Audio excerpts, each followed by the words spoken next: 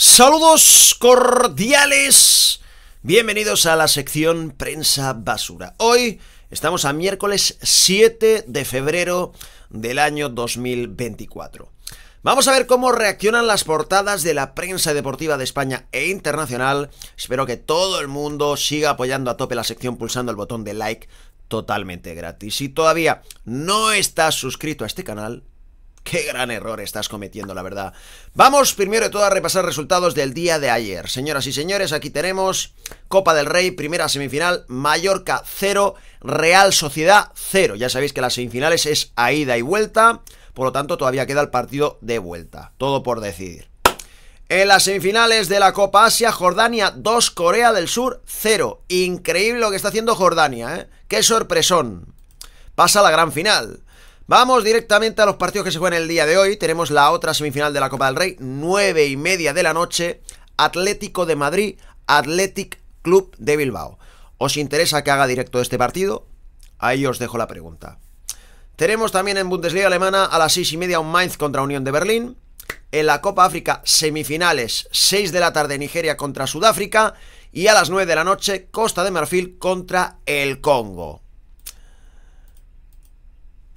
Por último, señoras y señores, tenemos semifinal de la Copa Asia, 4 de la tarde, Irán contra Qatar.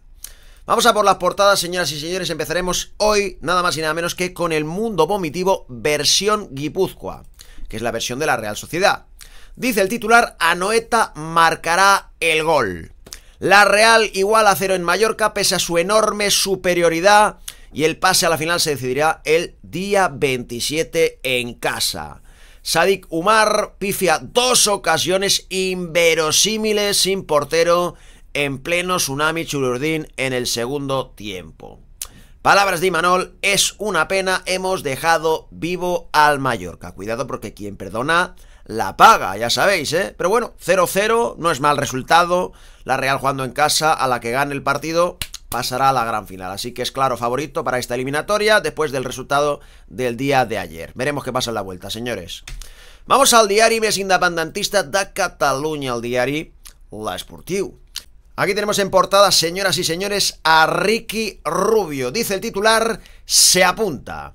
El Barça inscribe en la Euroliga y en la ACB a Ricky Rubio, que marcará los tiempos de un retorno que será todo un impulso para el equipo de Roger Grimau. Bueno, pues señoras y señores, se confirma que Ricky Rubio finalmente se inscribe con el Barça. Una gran alta, un gran fichaje. Ya sabéis que era un jugador que estaba en la NBA. Gran jugador, pero tuvo sus problemas de salud mental, tuvo un parón en su carrera y ha decidido regresar a Europa. ¿eh? Y bueno, pues vuelve al Barça donde ya estuvo jugando cierto tiempo, ¿eh? antes de irse a la NBA. Así que buen fichaje del Barça de básquet.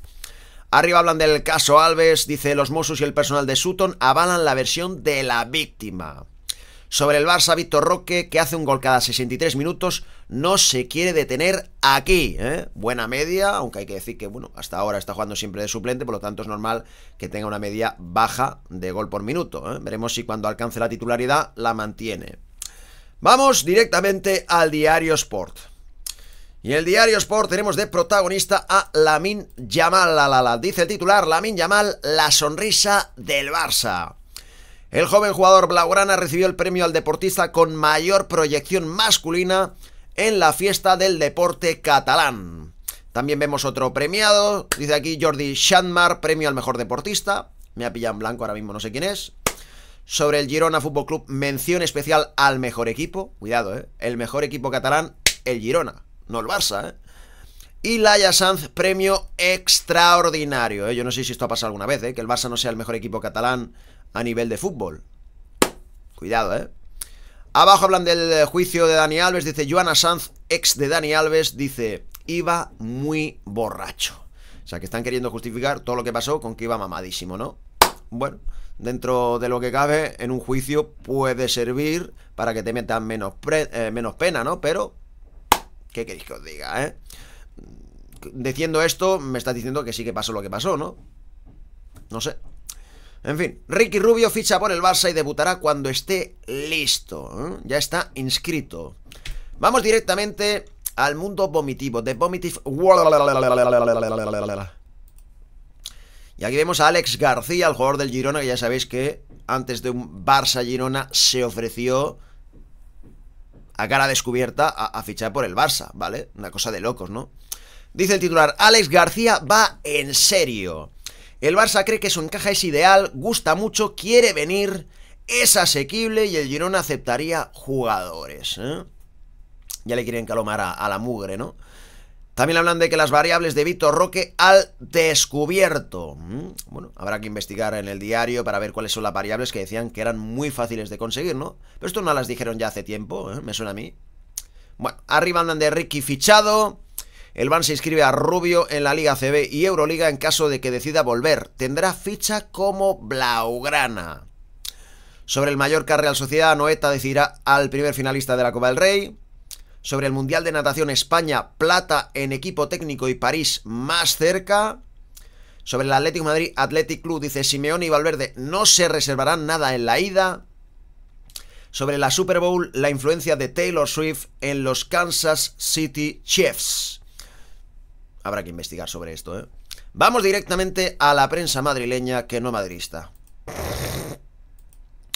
Tenemos el diario Asquerosidad. Y aquí vemos a varios jugadores, tanto de Athletic Club de Bilbao como de Atlético de Madrid, entre ellos Morata, Griezmann, Williams, ¿eh? Eh, Sancet me parece que es el otro, ¿eh? no lo tengo muy claro ahora. Dice el titular, a todo gas, como la película. Primer capítulo del superduelo copero entre Atlético y Athletic, los dos equipos más intensos en España. Simeone ensaya con Nahuel, Reinildo, Lino y Barrios. Nico Williams duda en los Leones. Palabras de Simeone, no son dos partidos, sino uno largo. ¿eh? Esto podría ser como El Señor de los Anillos, ¿no? Que no son tres películas, sino una larga dividida en tres trozos. Palabras de Valverde, hay una presión añadida. ¿eh? Bueno, pues esto es un partidazo, ¿vale? Esto es un clásico del fútbol español, un partidazo.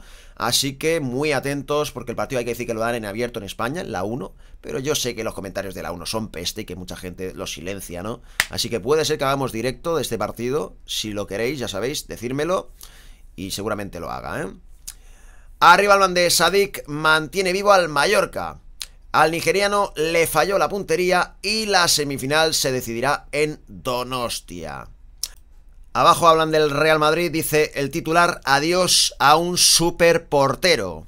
Fallece por ELA Miguel Ángel, que estuvo 18 años en el club blanco. Bueno, pues señoras y señores, descanse en paz. Miguel Ángel, una leyenda del Real Madrid, poco reconocida, hay que decir, por esa enfermedad tan terrible que es la ELA, la cual el gobierno no quiere hacer ningún tipo de inversión, esos hijos de la grandísima puta, porque prefieren destinar el dinero en sus amiguitos y sus negocios, ¿vale? Y sus chanchullos. Ahora, para combatir enfermedades tan terribles como la ELA, que es una enfermedad absolutamente mortal y durísima, tanto para el que la sufre como para la familia, hay nada, ¿vale? Nada, absolutamente nada, ¿no? Y además es la misma enfermedad que tiene un ZUE, ¿eh? ya sabéis, así que, pues, una lástima, la verdad, repito, reitero, descanse en paz, ¿eh? una gran leyenda. También hablan de llegó a casa borracho. La mujer de Alves confirma la última declaración del jugador a la jueza. ¿eh? Que decir que ha cambiado tantas veces de versión Dani Alves que, claro, pues el pobre hombre ha perdido toda la credibilidad que podía tener, ¿no? Si es que tenía en algún momento de su vida. Y, la última versión que dijo es que iba muy borracho, ¿vale? Que iba muy borracho. Que no sabía lo que hacía, ¿eh? que iba muy borracho. O sea, dejando en claro que algo seguramente hizo pero claro, como iba borracho, pues no era consciente, ¿no? En fin. Sobre natación, un equipo de plata, España consigue medalla en la rutina técnica. Sobre baloncesto, Ricky Rubio inscrito. El Barça apunta al base para la Euroliga, pero tardará en debutar. Por eso, por más que me pregunto sobre el caso de Dani Alves, ¿vale? Por más que me meto en la cabeza no sé, intento ahí posicionarme en esta situación y es que es... Yo no lo termino de entender. O sea, un tío que presuntamente va mamadísimo, que está en plan súper baboso, súper cansino, que te está ahí medio metiendo manos sin que tú quieras que te meta mano, ¿vale? Se va al baño, te dice, oye, vente al baño conmigo. Se va el primero al baño y tú luego vas detrás como un corderito. Es que no lo termino de entender. Es que no lo termino de entender. Es que de verdad que por más que lo piense, no me entra en la azotea, de verdad. No me entra en la azotea. Es que soy yo y aprovechando que se ha ido al baño, salgo pitando de allí, ¿no? Vamos, descaradamente, ¿no? Es que no, no, no entiendo nada, la verdad. Bueno, algún día espero que se sepa la verdad verdadera, ¿eh? La verdad verdadera, señores. Sobre la liga denuncia la agresión a Ocampos en Vallecas ante la Fiscalía de Menores. Ya sabéis que un chavalillo pues le metió el dedo en el Randy Orton a Ocampos durante el Rayo eh, Sevilla y bueno, pues se ha montado un pollo por esto ¿qué quieres que te diga? O sea, es que eh, vivimos en un mundo donde se montan pollos por chorradas y por las cosas verdaderamente importantes no se dice nada. Porque, por ejemplo, en España los agricultores están haciendo una huelga descomunal porque le están haciendo la vida imposible, ¿vale? A ellos y al resto de españoles. Pero esto no es lo suficientemente grave como para hablar de ello. Es mejor hablar de que un chaval se le vaya la olla y le toque con el dedo en una nalga a un jugador del Sevilla. Eso lo debe ser lo más grave del mundo, ¿no? No que los agricultores estén pasando penurias y le estén haciendo la vida imposible y que se mueran de hambre. Eso no importa nada, ¿no? En fin. ¿Qué queréis que os diga, vale? ¿Qué queréis que os diga, señores? Vamos directamente al marca. El diario macholista, señores. Aquí tenemos a Carlos Herrera, que para la gente que no lo sepa, es un periodista que hace programas de radio, ¿vale? Un periodista bastante importante de este país, ¿eh? Y que ha dicho que se quiere presentar a presidente de la Real Federación Española de Fútbol. Pero lo dijo así medio en coña. Y entre coña y coña parece que al final incluso parece que, que lo quiere hacer en serio, ¿no? Es una cosa de locos, ¿no? Dice, entrevista exclusiva a Carlos Herrera. Dice, la Real Federación Española de Fútbol es un gigante adormilado que precisa una renovación. ¿eh? El prestigioso periodista anuncia su intención de ser presidente de la federación y desvela las líneas maestras de su candidatura. ¿eh? Mm, justamente es que quiero enlazarlo todo, ¿vale? Quiero enlazarlo todo porque Claro, ahora llega este señor y hace ver como que la federación es un desastre, que nada funciona y que hay que cambiarlo todo, ¿no? Y así pasa siempre que hay un candidato nuevo. Justamente anoche, por la madrugada, estaba viendo un documental en la aplicación 3CAT, ¿vale? Que es una, aplicación de la televisión catalana, sobre José Luis Núñez, presidente del Fútbol Club Barcelona, que es el presidente con el cual yo crecí. Cuando yo era un niño, Núñez era presidente del Barça, ¿vale? Hasta que luego llegó Laporta. Bueno, pues eh, se habla durante el documental, no lo he visto completo todavía, ¿eh? de cuando llegó Núñez a la presidencia del Barça, que lo primero que hizo es decir que, la economía del Barça estaba por los suelos, ¿vale? Os suena esta historia, ¿no? Y se decía en el propio documental que siempre pasaba lo mismo en la historia del Barcelona, que cada vez que llegaba un presidente nuevo, lo primero que decía es que la anterior era un desastre y que la caja estaba muerta, ¿vale? Que estaba vacía, que estaba todo endeudadísimo, ¿eh? O sea que, no sé,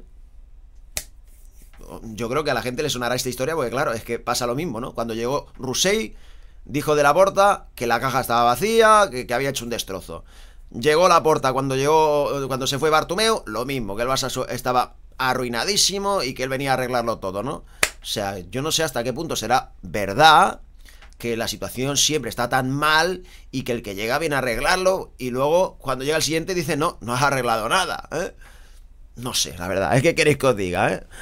Ahí queda. Muy interesante ¿eh? el documental de Núñez, muy interesante, la verdad. Hay que verlo para la gente que sea del Barça sobre todo. Y yo como crecí con ese Barça, pues quería verlo, ¿no? Porque aparte Núñez era un tío que, fue imitado por todos, ¿no? Imitado por absolutamente todos. En fin, eh, ¿qué más? Sadik perdona la vida al Mallorca. El delantero falla dos goles a puerta vacía. ¿eh? Terrorífico. Sobre el Atlético Athletic, dos clásicos de la Copa en busca de la final. En un circulito negro dice muere Miguel Ángel, mítico portero del Real Madrid. Me sorprende que ni siquiera la prensa madrileña le haya dedicado un gran espacio a Miguel Ángel, ¿vale?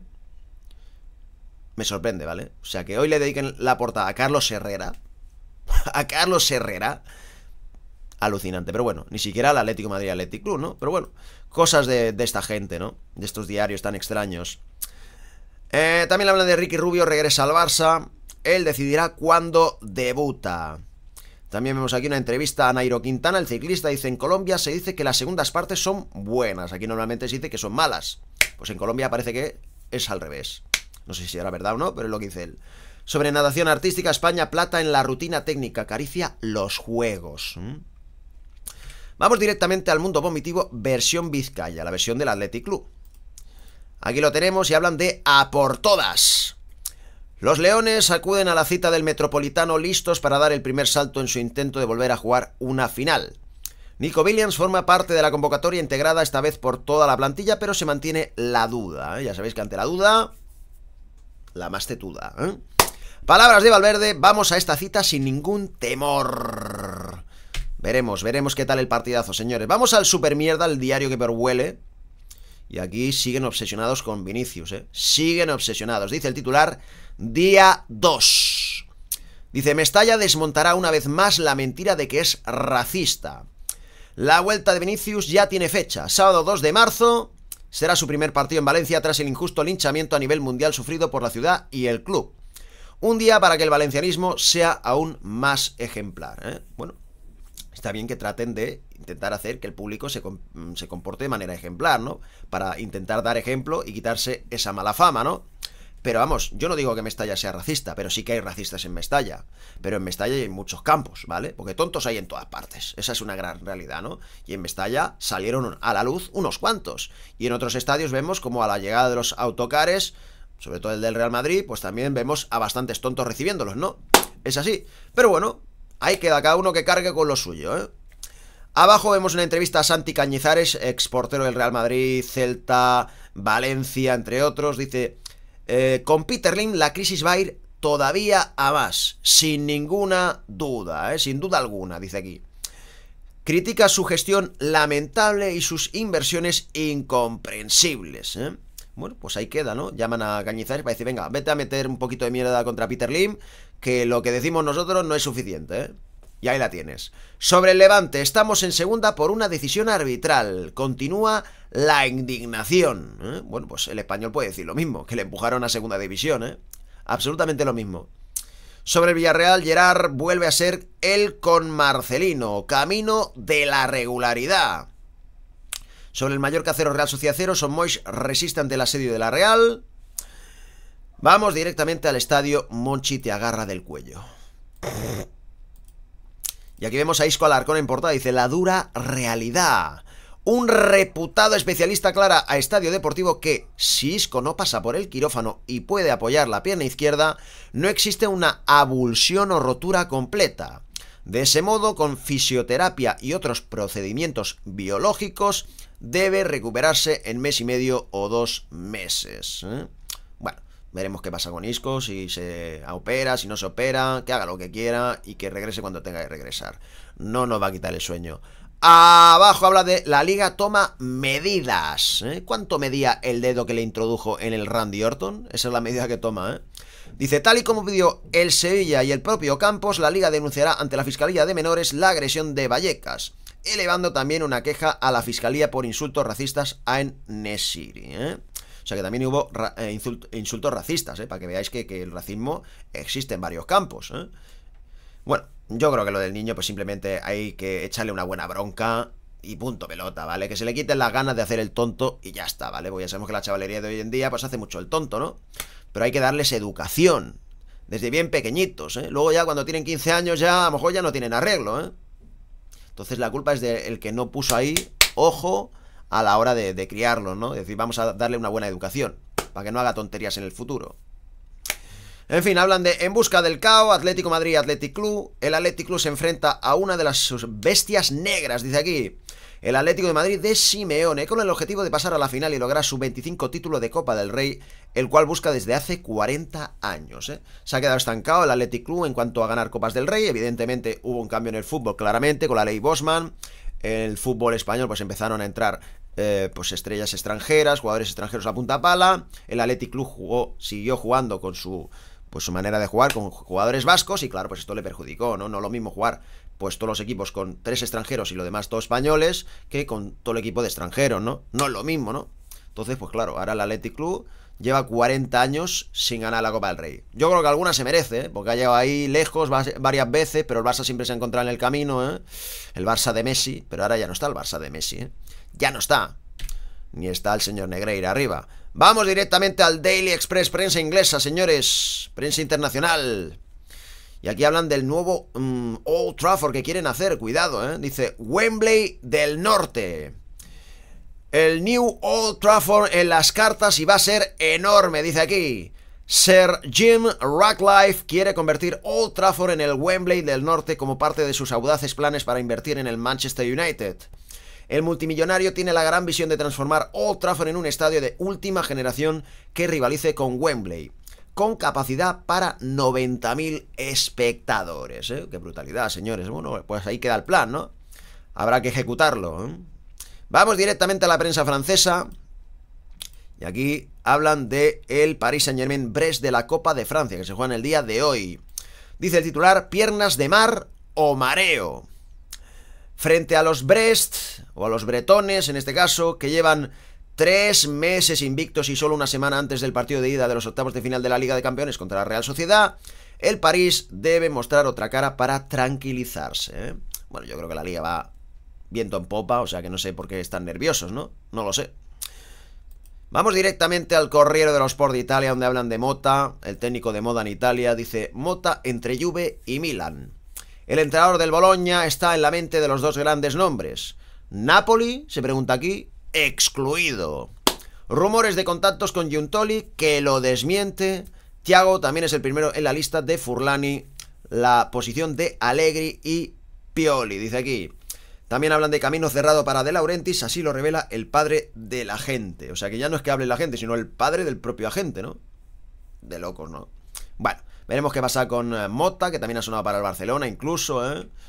Ya sabéis que Mota jugó en el Barça, en el Atlético Madrid, Paris Saint Germain. Bueno, bueno, una larga trayectoria, ¿no? Buen jugador, la verdad. Vamos directamente al diario Récord Portugués. Y aquí vemos a Barandas, el técnico del Sporting. Dice: ir con un partido menos e ir primero, dice aquí. Barandas recusa teorías de conspiración y apunta la meta para Famalicao. Eh, sea en marzo, abril o mayo, estaremos preparados para gañar. ¿eh? Gañar. Eh, hoy juega Unión de Leiría contra Sporting, de la Copa Portuguesa, por cierto. Dice, dos puntos de, atraso en mi cabeza son una ventaja. Esto lo dice Amorim, el técnico del Sporting. Bueno, su cabeza era espectacular, ¿no? Vamos directamente al diario Olé de Argentina. Ahí lo tenemos. Y hablan de Merentiel más 10. Cuando se arma el equipo, la duda es ahora quién acompañará a la bestia. Máximo goleador del ciclo y con 11 en los últimos 12 partidos. Está en racha, la verdad, Merentiel, ¿eh? está en racha, ¿eh? Vamos directamente al diario Cancha de México. No mames, güey. Las pelotas del marrano. Y hablan de ridículo. Pierde América en Conca Champions ante Real Estelí, cuya plantilla vale 3,19 millones de euros por 96,9 de las Águilas. pues vaya ridículo, la verdad, ¿eh? Vaya ridículo. Arriba hablan de por el B. Busca Kansas ser primer bicampeón de la NFL en 19 años para confirmar así su dominio. O sea que en 19 años nadie ha repetido dos veces. ¿eh? Bueno, veremos si es esta vez. Vamos por último al diario extra de Paraguay. Para sacar una contraseña, señores. Tenemos aquí la noticia principal que dice, ofrecen chulis en alquiler para el 14 de febrero. Cuidado, ¿eh? Dice, parejas de wow, wow, debe ser algo en guaraní, ¿no? Cuestan 300.000 guaraníes por hora, ¿eh? Vemos aquí a un chico con una rosa aquí en la espalda queriendo dar una sorpresa, ¿eh? A una chica que está en una, bueno, una silla, ¿no? Podemos decir, ¿no? Un taburete. Dice, una de las empresas locales dedicadas al rubro asegura que ya tiene 25 reservas, tanto de clientes varones como mujeres. Ellas piden musculosos y lindos. Ellos eligen entre las que tienen pechos y cola grande. El objetivo es impresionar y causar envidia. Para fingir bien, antes estudian un guion. A ver, vamos a meternos en esta cuestión, de verdad, porque me parece súper triste y súper lamentable que digas, mira, estoy solterón o solterona en el día 14 de febrero, que es el día de los enamorados, ya sabéis, ¿eh? San Valentín, y que tengas que alquilar una pareja para dar el peo y decir, mira, ¿eh? lo voy a celebrar, ¿eh? y así subo las fotitos para Instagram, ¿eh? porque todo esto para las fotitos de Instagram, seguro, ¿no? O la gente que te conozca y te vea una chica que no te ha visto jamás en la vida dirá, qué raro, ¿eh? Muy raro, ¿eh? En fin, me parece muy cutre, ¿vale? Muy cutre el eh, alquilar una novia para el 14 de febrero, pero bueno, así está el panorama, señores, ¿eh? Así está el panorama. Bueno, vamos a manera de contraseña, chulis en alquiler, ¿vale? ¿Habéis alquilado alguna chuli alguna vez? Esa es la pregunta del millón, ¿eh? En fin, señoras y señores, con esto y un bizcocho, disfruten de su soltería si es que están solteros, si están casados. Pues lo siento mucho por vosotros, ¿eh? mucho ánimo y os deseo a todos una feliz Navidad. Nos vemos esta noche seguramente en el directo del Atlético de Madrid, Atlético de Bilbao.